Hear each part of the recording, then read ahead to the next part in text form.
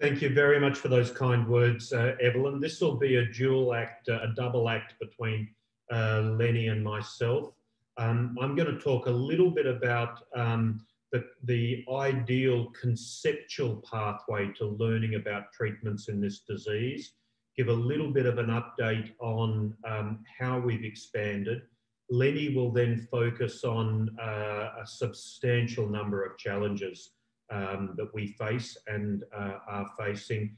Um, and then uh, it'll come back to me to just with a single slide uh, refer to some of the issues that are um, relevant to um, the possible utilisation of REMAP-CAP as a platform for the evaluation of unregistered uh, medicines. I should also start by just acknowledging um, uh, the, the great many funders. Um, there's um, a set of philanthropic uh, funders, but I do want to mention the NHMRC, the HRC in New Zealand, uh, the European Union uh, Horizon 2020, uh, CIHR and NIHR, um, all of whom um, have um, been um, funding supporters of the study.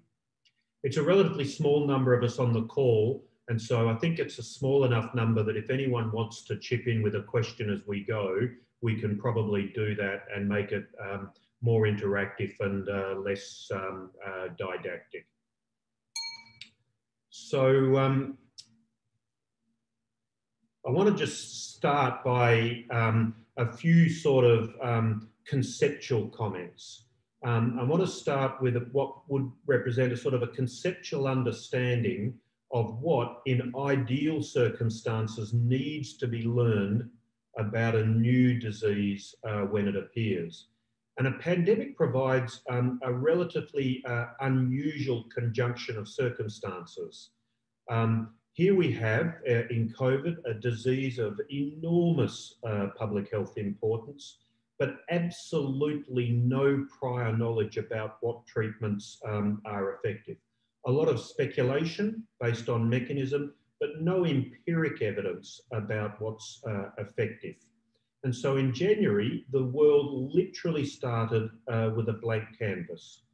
I do think it's really important to uh, pay tribute uh, to the large pragmatic trials, uh, recovery and solidarity. Um, they are enormous achievements. And as a consequence of those trials, we know and much, much more about the treatment effect uh, of several uh, interventions. But I'm also going to suggest uh, that in this, within this conceptual framework, as important as those trials are, they can only take us a certain uh, amount of distance. Um, REMAP-CAP is a Bayesian adaptive platform trial. And what that means is it's designed to determine the optimal set of treatments, i.e. the combination of treatments that are optimal for patients with, uh, for, for different defined subgroups of patients. Now, whether or not REMAP-CAP will achieve that uh, remains to be seen, but that's essentially what it's uh, been uh, designed uh, to do. So I'll just start by saying what I believe to be the goal of clinical trials for COVID, which is to provide guidance to clinicians on optimal treatment which may vary depending on defined baseline characteristics, and critically importantly, to provide that guidance as soon as possible. Now, we're a Bayesian trial, and so as to maintain uh, the Bayesian theme, I'm going to discuss uh, some priors with respect to the principles of trial science uh, as they apply uh, to COVID. So these are my personal beliefs and some of them have been influenced by accumulating uh, evidence, and some of them uh, remain uh, speculative uh, priors.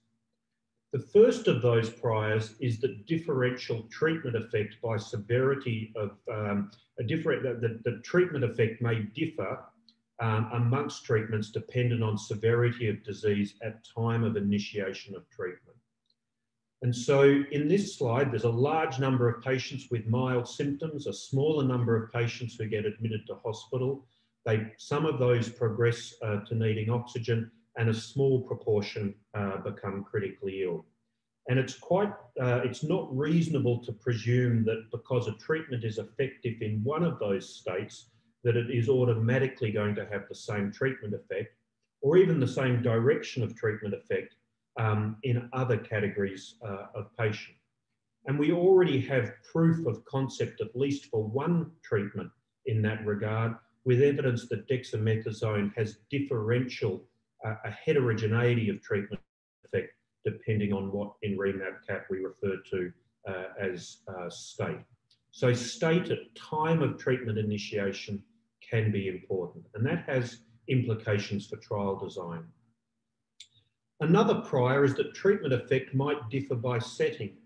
The pathways to death for patients in this sort of hospital in sub-Saharan Africa are likely to be different to the pathways to death that occurs in an intensive care in, the, in a country uh, with um, uh, substantial amounts of resource. And what that means is that trial design needs to take into account that treatment effect may differ by setting. Some further priors. I think it's obvious to us all that the universe of candidate treatments is extremely large.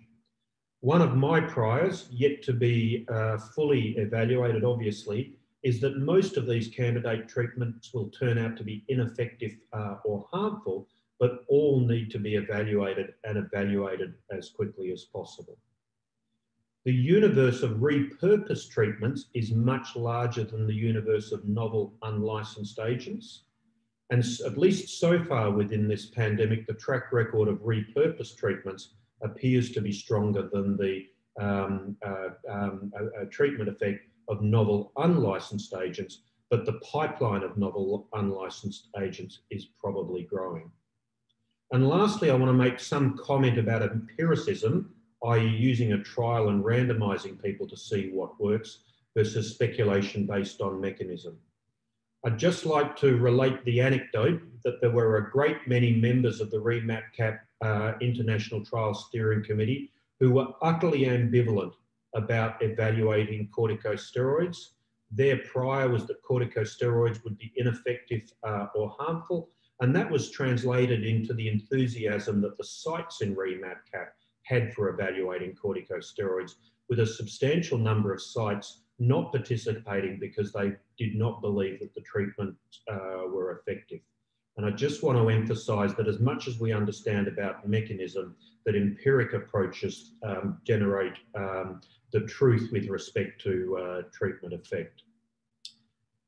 Um, and the additional prior is that for patients with sufficient severity to warrant hospital admission, it's highly unlikely that there will ever be a single curative treatment.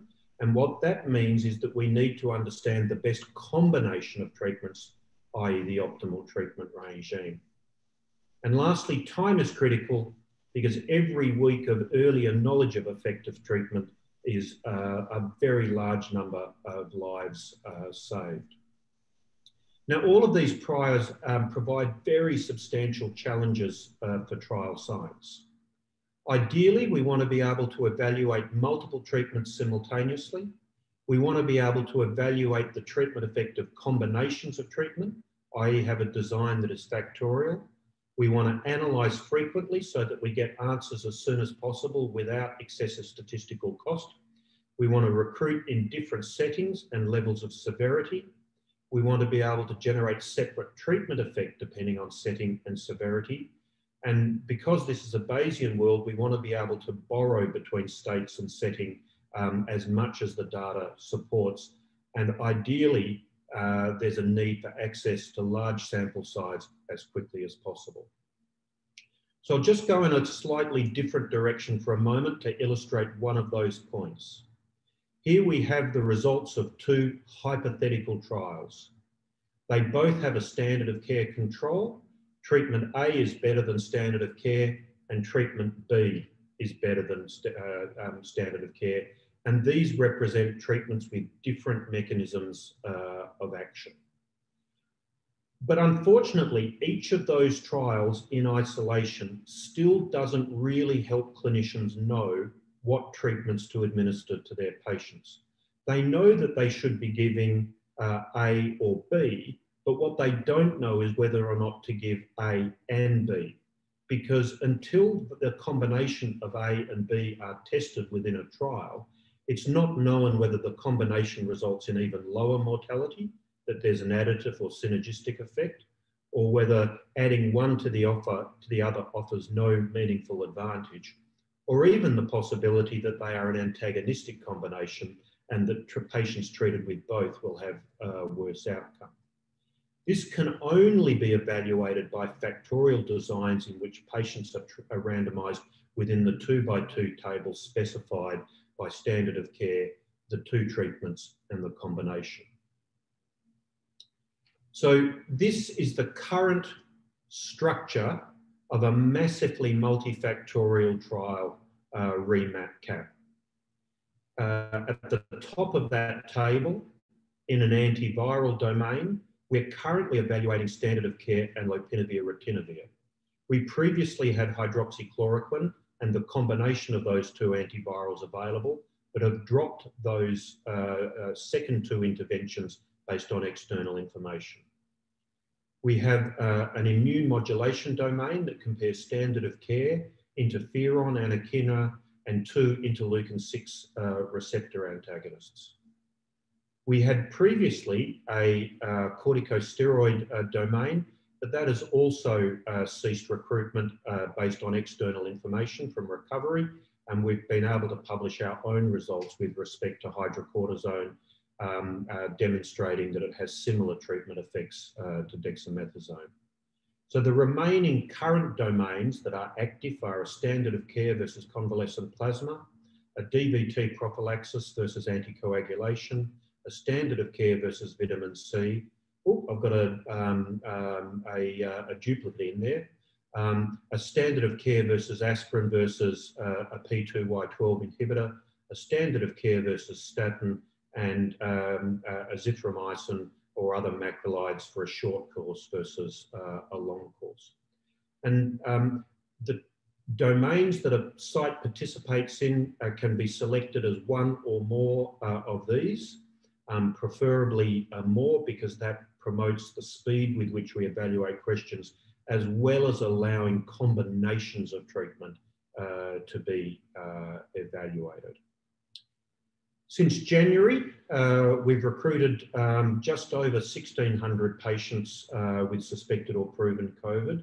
But because of the multi-domain, uh, um, the multifactorial nature of REMAP-CAP, that corresponds to approximately 2,700 uh, domain level uh, randomizations with up to this, up to six domains uh, per patient. Um, I don't want to sound too defensive, uh, but in a trial uh, with three times as many uh, um, um, endpoints as hospital-based trials, um, that essentially is giving us the same statistical power um, as a hospital-based trial with eight or 9,000 uh, patients uh, randomised.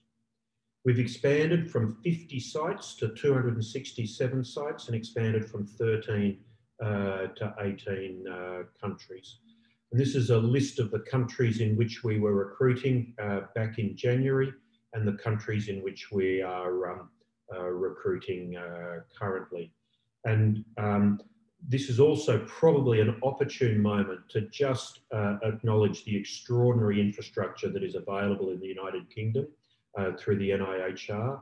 We've uh, very substantially increased the number of sites in the UK and the resources that are available to support recruitment in that location have just been stunning um, and an absolute tribute to the uh, creation of the NIHR. This slide is a week or so uh, old and we're recruiting currently at the rate of about uh, 130 to 150 patients uh, a week. Um, it includes the old REMAP CAP non-pandemic uh, domains, um, but you can see there in the grey bars um, the recently uh, um, updated recruitment uh, across a range of the pandemic domains that I ran through. Both the statins and the antiplatelet domain, I think went live uh, this morning um, in the UK, and I'm yet to see an email suggesting that we've had our first recruitment um, in those uh, new domains. So REMAP-CAP was an expansion uh, of an existing trial. It does have uh, a complex design and that design has lots of potential advantages. Um, and I, but I think it's still too early to understand uh, if uh, those potential advantages uh, will be realised.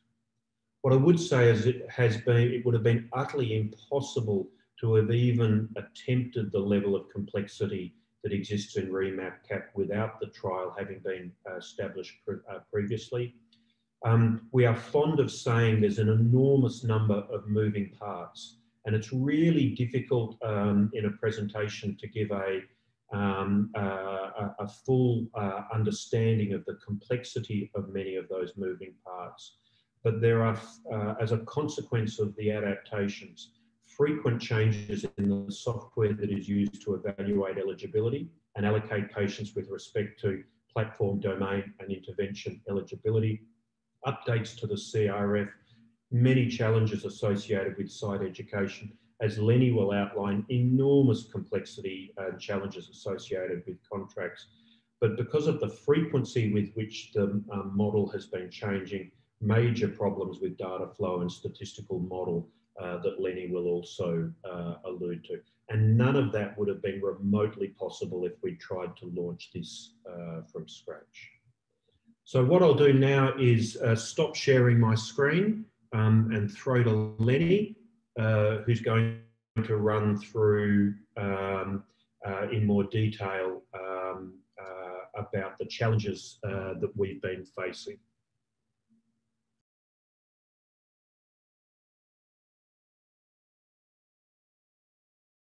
Thanks, uh, Steve. Um, just trying to get the slides up properly. Um, so, thanks, Steve, for, for running through all the complexities and the reasons why uh, of REMAP-CAP. What I'll try and do now is focus on the kind of operational side of the challenges that we've had.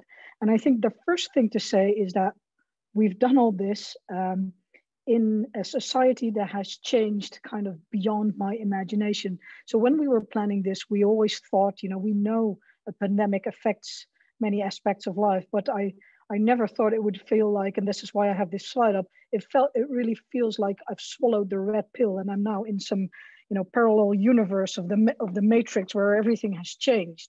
Uh, you know, my, my work in the ICU is not my work in the ICU anymore.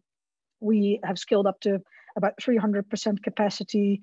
We have worked with non-ICU personnel. We've experienced shortages like we've never experienced uh, our home lives have been different, you know, homeschooling, uh, uh, the fact that you can't see friends and family, uh, planes are not flying, Olympic Games and, and Tour de France's have been cancelled or, or delayed. I see my colleagues on national televisions, you know, you know, on a daily basis, uh, society has really changed. And for the research, uh, that has been affected by all of that as well. So nothing has really stayed uh, the same. And um, in terms of challenges um, and uh, uh, things we've had to overcome, um, I try to see whether there's one aspect of the trial that these challenges are in, but it's actually not. It's actually each of the components of running a trial, which if I put it down in one kind of visual looks like this, where you start with funding and then you, you know, go to write a protocol, submit that to regulators, uh, startup sites, uh, write a CRF, collect your data, and then analyze and, and, write it up. And then there are then there is external uh, uh, factors. Uh, challenges have occurred in each of these uh, uh, steps of our route during this pandemic. And I'll try to address uh, some of those, or all of those actually. Um, so in terms of funding, that was a challenge mainly at the beginning of the pandemic. we were trying to land funding to, to get the research going because we knew we were going to have to, you know, recruit personnel and do a lot of work. And that took uh, a, a, discrepant amount of time in the beginning of the pandemic, writing grants also with multiple partners, new partners across the globe. That was quite challenging. And I think where we have succeeded, uh, if I look back on that, it's actually been based on trust. So, uh, Evelyn, you know, I, I really have to uh, thank you and many other people, but you are here uh, for this because in the EU, Uh, I think the trust that the European Union has in, in this project has been amazing and has been instrumental to us being able to ramp up uh, like we did. And I know for Steve, a similar thing has happened, you know, based on trust with uh, uh, the Minderoo Foundation. Um, and this is also true for other funds that we've uh, landed in this pandemic. Uh, so, so funding has been a challenge, but we've been able to succeed based on, I think, uh, trust and the work we've done together before. Um, moving to the second step, writing the protocol. Um, so I think most of you know that the protocol of REMAP-CAP is quite uh, complex. It has a modular structure where we have a core protocol that like an umbrella holds all the domain specific appendices. And luckily we we'd started writing uh, a pandemic appendix to the core protocol, as we call that, uh, to kind of put all the information in that would be different in a pandemic from your traditional core protocol. Um, but we did have to amend that based on the specifics of this pandemic, so that took a bit of time.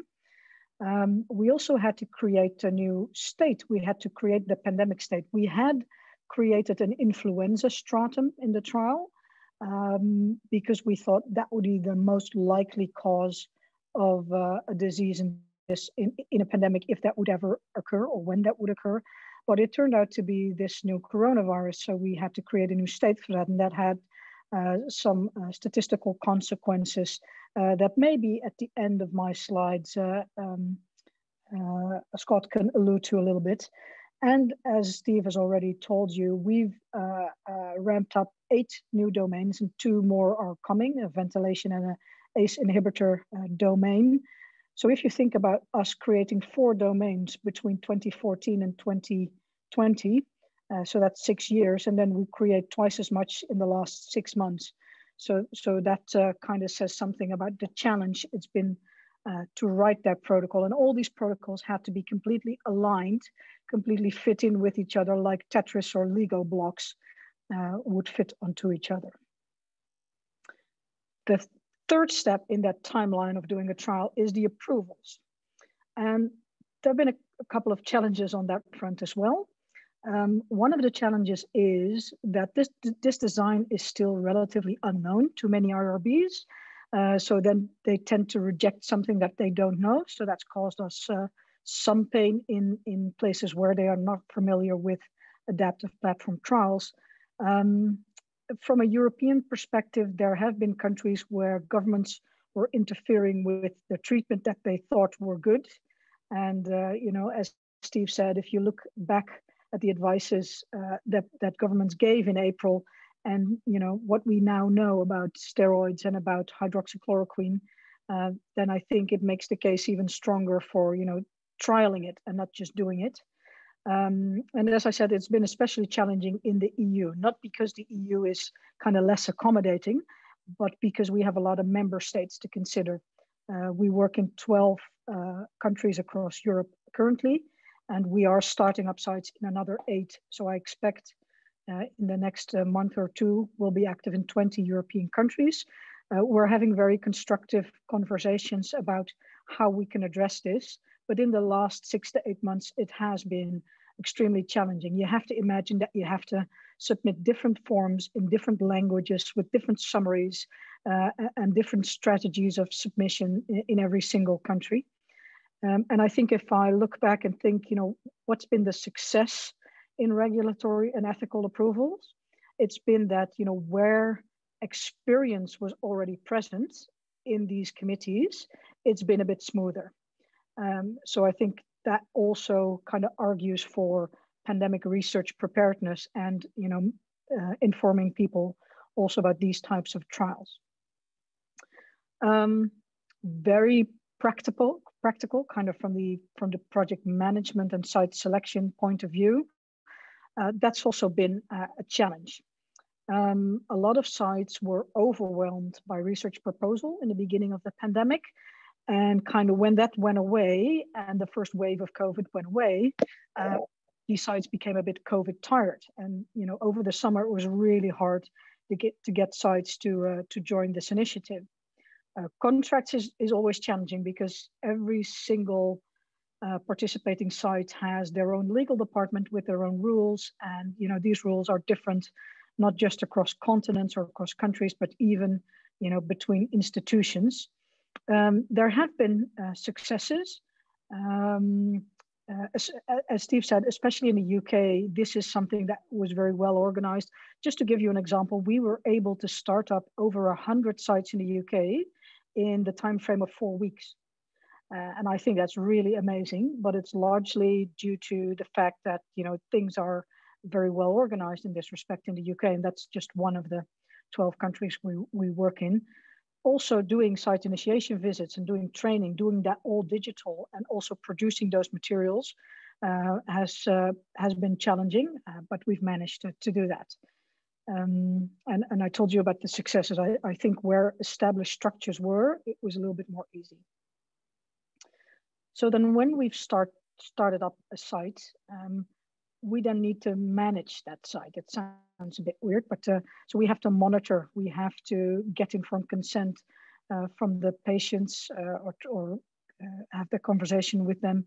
Um, we also had to organize all the logistics and contracting for medication. So some of the med medication that we use is expensive. Uh, obviously, uh, we are happy if the the producers of those medications can supply those, especially because in the first wave, some of the medication was really scarce. It was hard to, to get it clinically. Uh, so uh, getting those contracts in place has really helped. But getting a contract in place with a pharmaceutical company between five recruiting regions uh, has not been easy uh, at times. And the logistics of medication are quite challenging, uh, especially if you're working across uh, multiple countries. Uh, and then also, you know, everything that was going on within the trial, and this relates to something I'll come back to a little bit later, also has to be kind of translated to the sites. So the streamlining of information has been especially challenging. Um, what we uh, have learned now is that, especially if you have so many domains up and running, you may have a PI at a site that you kind of feel is the main person at that site responsible for the trial but different domains have different what we call champions you know people who pull the chart of that domain and they want to be in the information uh, uh, uh, chain as well. So streamlining that making sure we don't communicate with 10 different people in one site but do keep everybody uh, up to speed and up to date uh, that's been uh, a challenge as well. And again here success is made by relationships established before the pandemic um, Steve touched a little bit on the CRF. Um, I think we have a well-designed CRF um, and the eligibility system makes sure that people don't have to worry about, you know, time windows and everything like that across domains, which would be impossible. But it also means it has about eight pages of logic behind it. Uh, so it's quite complex to build. And every time you add a new domain, that interferes with a lot of the pathways um, uh, in that uh, CRF. Um, in addition to that, CRF works across multiple data providers. Um, and in the US, uh, the data are actually extracted from the electronic health records. Uh, so that's another challenge to get that all exactly the same way. And then getting the right data to our statistics uh, um, uh advisory committee with all the changes to the platform. Um, you know, that, that uh, continuous updating has been a true challenge and it's still challenging today. Um, I already referred to a little bit uh, uh, to, to external factors. Um, so what we continuously try to do is try to incorporate the results from other studies into REMAP-CAP. So I think that went uh, very well with the corticosteroids. Um, it was, uh, a, a, you know, a real kind of a pilot for us to see if that would work, and it, it does. Uh, but keeping uh, on, top of all that literature that's changing so fast. Uh, that alone is uh, is challenging. We're lucky we have a big uh, big group, uh, so we try to to do that. just to give you an example of how that works practically, before the pandemic, I think once every three to four months we had an ITSC meeting, and we've had them weekly for about eight months, and still we need to contact each other you know, regularly in between these ITSC meetings, just, you know, to, to discuss things like this, like incorporating results from other studies. Uh, our investigator group, you can imagine, has expanded quite a lot uh, because of the expanding domains and also because of the expanding uh, regions. Um, what we also find very important is to collaborate with other studies. Uh, we've uh, had a couple of successes there, I think. Uh, we have uh, completely integrated with the Active 4 initiative from the NIH, as well as the uh, ATTACC uh, trial on, on anticoagulation. So that's a true prospective meta-analysis. I think that's a great accomplishment, but it is very challenging to get you know all the noses in the same direction and we're trying with more trials that cannot fulfill their re recruitment uh, to, to work with them and, and um, also make seamless phase two, phase three transitions and stuff like that. And a last thing that's been, you know, quite easy in principle, but uh, hard to execute is data sharing and publication policies. So, you know, it's very easy that we want um, credit to give credit where credit is due in publication, and we want to share data as much as we can. Those principles are very easy, but how you kind of organize that with all these funders, with all these institutions, with all these investigators uh, that all have a slightly different take on this, uh, that's uh, quite a challenge uh, in itself. So that's the external factors um, influencing uh, REMAP-CAP. And then the last challenge, and I know Steve uh, will laugh out loud, so I hope he has his microphone muted, is the challenge of time zones. So this is not a REMAP-CAP slide, and it includes regions like uh, Sub-Saharan Africa and uh, the Southern Americas, where we are currently not recruiting. But uh, we do have investigators on the west coast of the US. We do have investigators on the east coast of Australia, and we even have investigators, and they may be hidden under your uh, kind of speaker frame in, in New Zealand. And getting all these people in all these time zones on calls is uh, quite challenging at times. And we've all had to get up in the middle of the night. Um, I think kind of the, um, the, the passion of the investigators is, is shown by the fact that Srin is here, the Scott is here, even though it's quite early. I know Steve regularly has 6 a.m. meetings. I've been up after midnight doing, doing meetings. Um, so, so we all, all do that, but it is a challenge. So um, we've jokingly said that we would really appreciate uh, if the world was flat. Um, there are advantages to these time zones because sometimes one region can work while the other sleeps and we can flick each other uh, work uh, overnight. Uh, but this is just a very practical problem um, uh, that's you know difficult in a, in a global trial. Um, so that brings me to kind of uh, a, a very short summary of what I think the challenges have been and how we are trying to fix those. And I think what we're trying to do is we're trying to consolidate what we've built in the last six to eight months.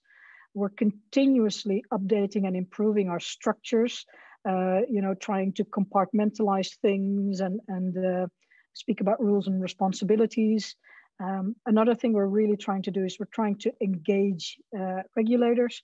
We're trying to engage sites.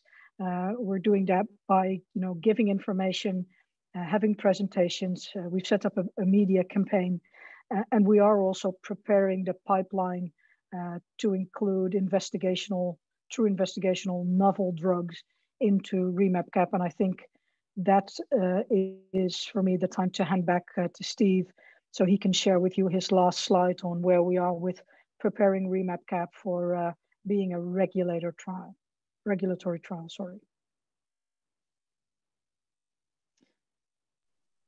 Uh, thanks, Lennie. I've just got um,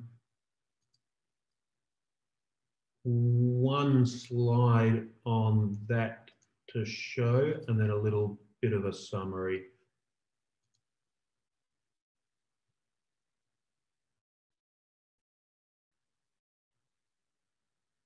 Hope that's um, uh, uh, presenting okay.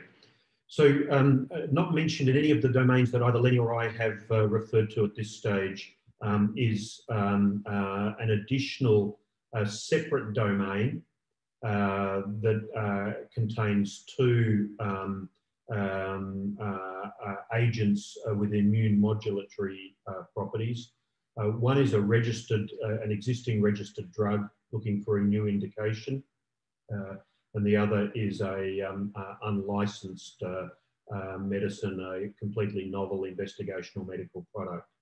So there's been um, substantial um, uh, liaison uh, with the FDA um, and um, uh, we have um, agreement with the FDA that the design that we've put together for this domain is regarded as acceptable for regulatory submission. It's not regarded uh, uh, as exploratory.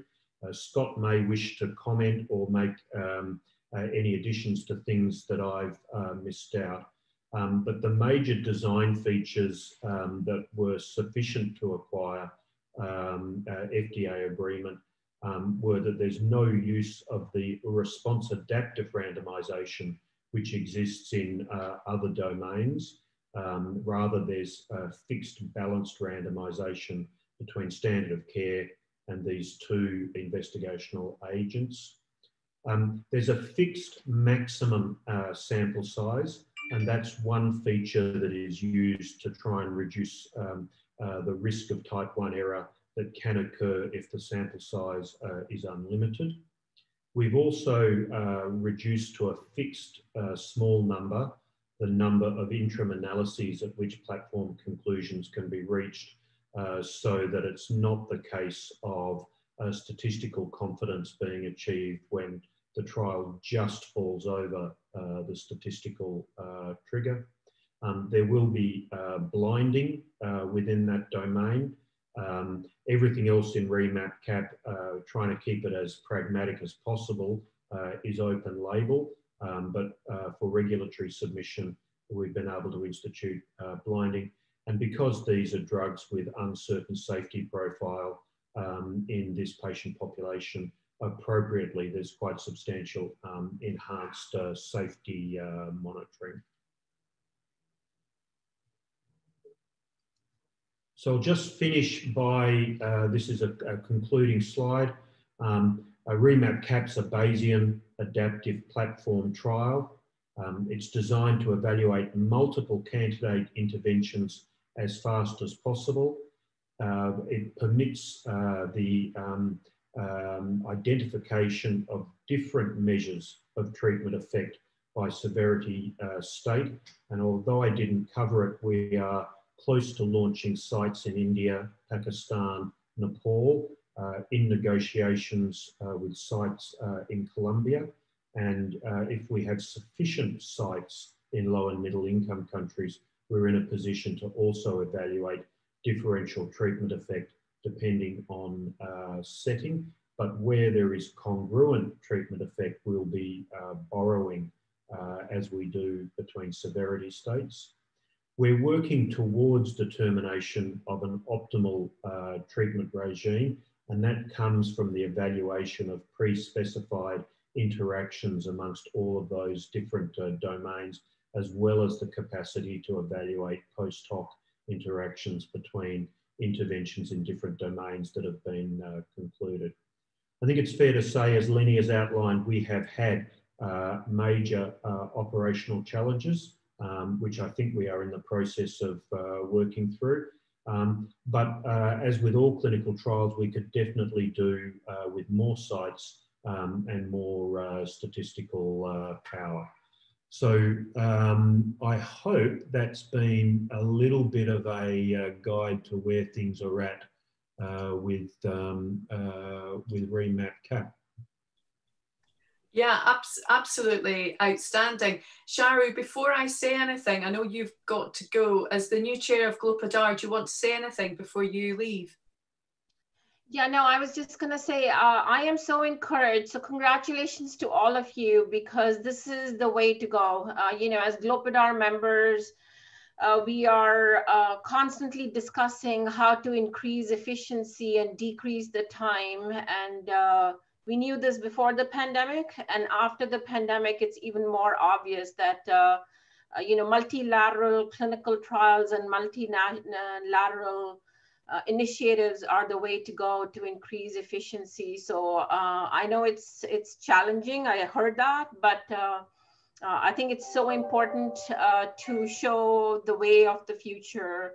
And you're doing that. And I'm particularly encouraged to hear that the LMICs are being included because, Steve, as you said, uh, you know, it's so important to make sure that it, this works in different settings. So uh, very encouraged to hear that. And I just want to uh, congratulate the whole group and uh, just say, you know, um, I know it's not over yet, but we have to power through. So thanks so much uh, for your, all your efforts.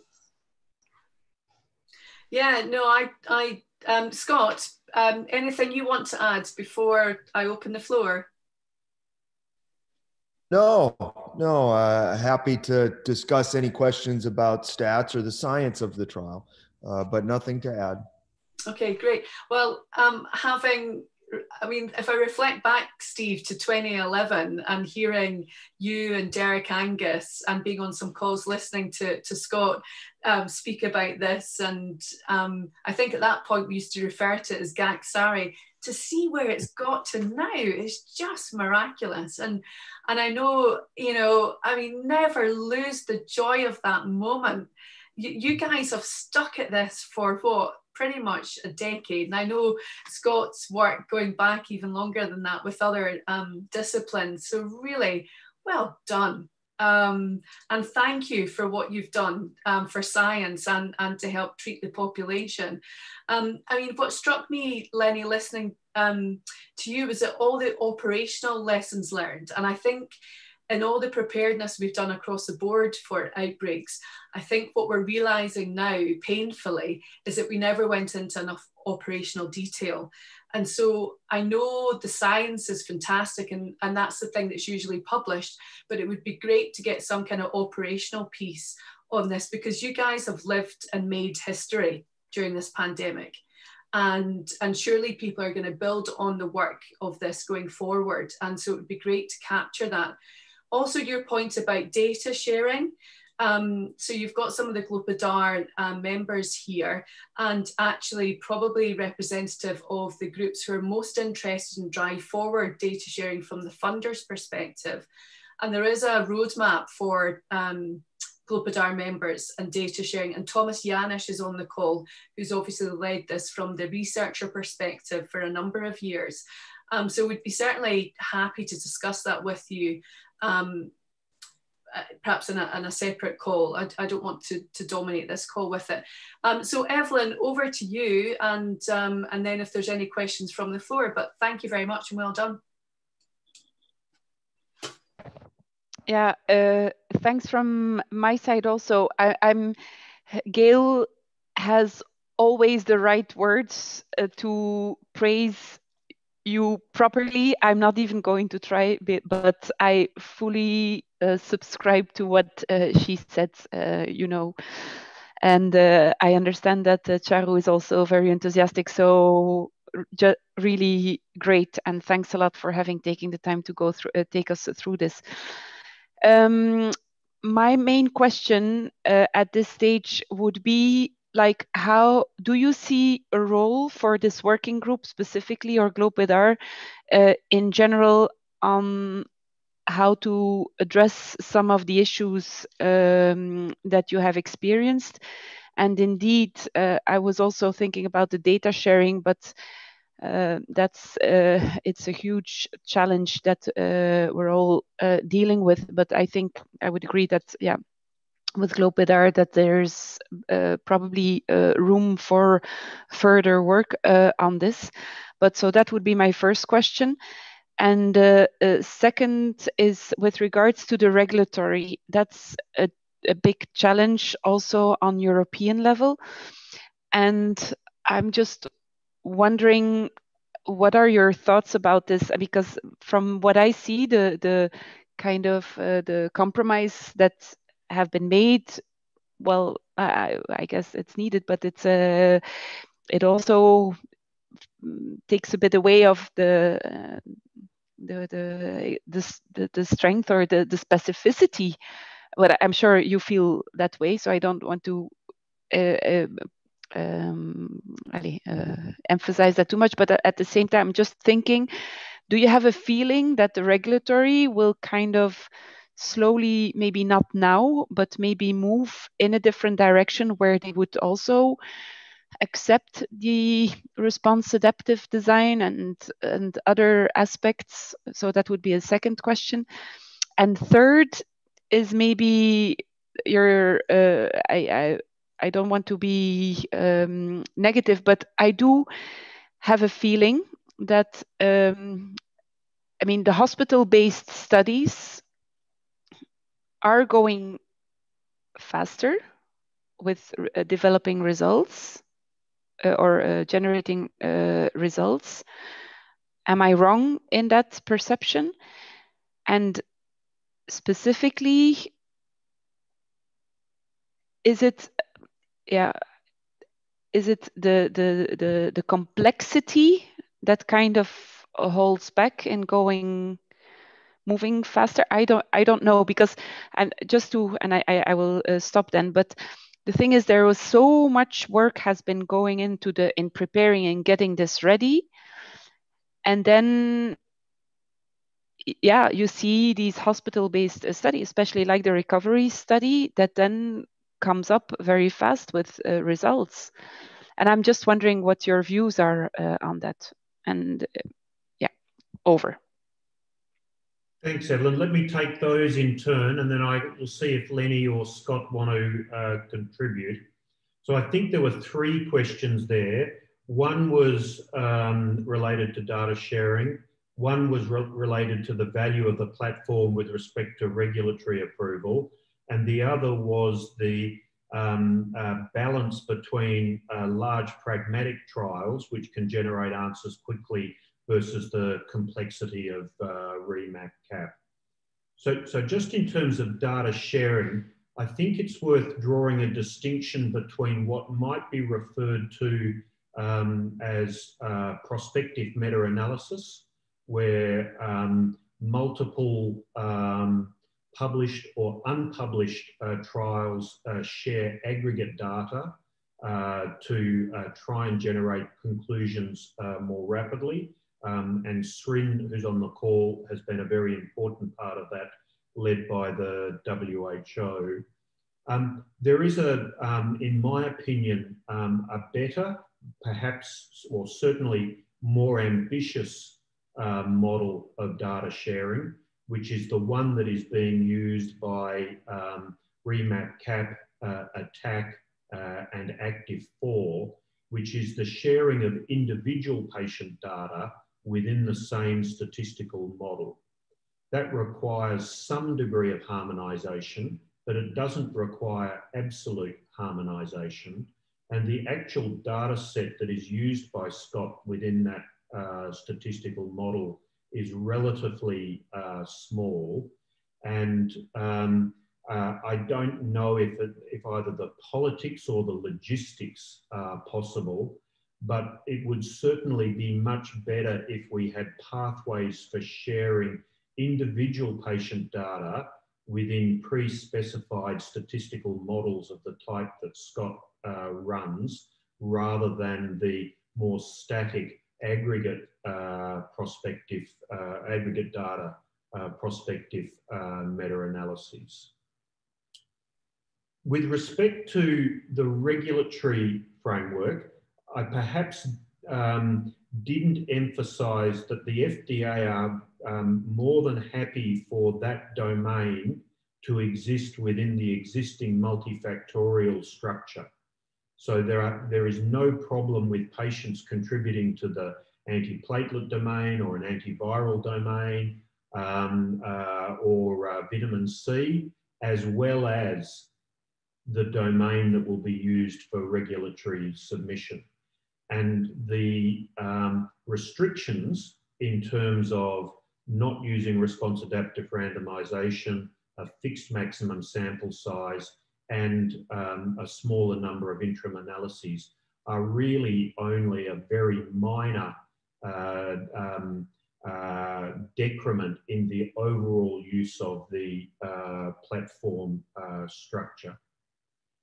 And then lastly, you are absolutely right that trials like recovery and solidarity have been good at generating answers about the effectiveness of single treatments. What they're not well prepared to do is progress through the next layer of understanding, which is about the contingent relationships between multiple different treatments. as I showed in those slides, two trials that both show a benefit of different treatments still need a second trial of the sort of design that REMAP CAP has to move us towards understanding what are the optimal combination of treatments. There's no doubt that simple pragmatic designs like uh, recovery and solidarity have allowed us to answer the initial questions, but I think it remains to be determined whether those designs have the flexibility to answer the next set of questions because they are a somewhat more static uh, design. Thanks, uh, Steve. Very helpful. I think maybe Thomas, I don't know if you want to come in with regards to the data. Yes, yes. I was just going to ask a question about data sharing. Um, so in ReCoDID, the aim that we are working towards is the combination of the clinical epidemiological data and the high dimensional data, which in many cases is sequencing data, but can also be array data, uh, omics data. And um, I was thinking about all the groups that you have presented. Um, in, in ReCoDID, most of the emphasis is on observational cohort data. So there's a lot of standard of care control groups that could potentially be of use for, for, for ReCoDID. So ReCoDID is reconciliation of cohort data for infectious diseases, and we really focus on the data sharing and harmonization aspect of that. So I was going to explore with you to what extent that would be possible to, to share, especially the, the data from the control groups. Um, um, Thomas, I'm, I'm, sure we can, uh, can look into that as Lennie has outlined, we have a lot of um, uh, uh, first order challenges with respect to just being able to make the platform work uh, as we grow. Um, we're, in a phase at the moment of trying to consolidate uh, a range of processes. We're relatively paused in terms of new domains so that we can make sure that we can execute with the domains uh, that we have. Um, but um, I'm sure as the dust starts to settle and we've got a little bit more time and a little bit more bandwidth, um, that's the sort of, uh, particularly out of the standard of care group, uh, that we can provide. I'll just make the additional comment that if a patient is randomized to six domains, which is the maximum number that we've had it to this stage, but we're frequently seeing patients randomized to four domains, they may be standard of care for only one domain, but they'll be active intervention for the other domains. And it's not uh, like uh, recovery or solidarity where you're either an active treatment or a control. You can be a mixture of uh, control and intervention across multiple domains. Thanks, thanks. That helps. And but is is there sequence data generated currently as well? There's no. There's there's it's it's it's in in terms of virus sequence. Yeah. Uh, no, yes. we're not. No. Uh, there are a, there are perhaps a few sites in which we can link sequence data to an individual uh, patient. Um, but what we've been trying to do is just set up the contraption mm. To randomize the additional complexity associated with routine sample collection uh, we felt was beyond us. Mm. Thanks. And just just to add, Thomas, so one of the additional complexities is that you know even though the, the data sharing platform that you described makes a lot of sense, there are obviously a lot of groups across the globe that either nationally or internationally are trying to do something similar you know, from their perspective. And we obviously want to share as much as we can, but um, it's quite a challenge to figure out how to do that with each of these partners without violating all the contracts with, you know, the pharma providing the medication, the grants we're under. Uh, it, it can mm-hmm. be done, but it just takes a lot of time to get it right. I understand. Great. Um, Sorry, just, I just wanted if Scott wanted to say anything about the uh, process of uh, negotiations with the FDA. and our understanding of there potentially being different views at the EMA? Yeah, we've talked to both the FDA and EMA. Um, I, I, think they're very comfortable. What's really nice about REMAP-CAP is each domain can be thought of as a, a registration aspect of the or simple simplifying uh, aspects of those domains for experimental therapies. We were in an interesting case where, uh, of course, a lot of this is new for both regulators. Um, we did that really to make the pathway straightforward. We could have gone response adaptive randomization. We could have done some other things. The sponsors were very comfortable making these simplifying assumptions to make this pathway easy for regulators. Um, uh, so I, I, think that process has been nice uh, in the work with regulators within the trial. Hmm. That's good to hear. Yeah, great. Well, unfortunately, um, we're going to have to wrap up because we're going straight into the member, the GloPID-R members meeting. But thank you very much. Some of you, like Scott Thomas, are up um, early doors, Rin. So thank you. Steve, you're up late. Again, huge success. Um, there's so much to learn from it. And um, what we'd like to do, with your permission, is to um, put the, we've recorded this and, and to put it onto the collaborative space so all the GloPID-R members could have access to it not just the researchers who often join this group, um, because there may well be funders in GloPID-R who would like to, to set this up in some of the other countries where you, where you don't have a site at the moment. Mind you, and listening to you, it sounds as though you have got most of the world covered, but, um, but maybe they could help you. But thank you again. Evelyn, any final words?